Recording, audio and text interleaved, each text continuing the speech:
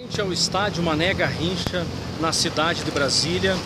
Para alguns, esse estádio seria um elefante branco, já que, ele, já que Brasília não tem nenhum time na primeira divisão do Campeonato Brasileiro. Esse foi um estádio ah, da Copa.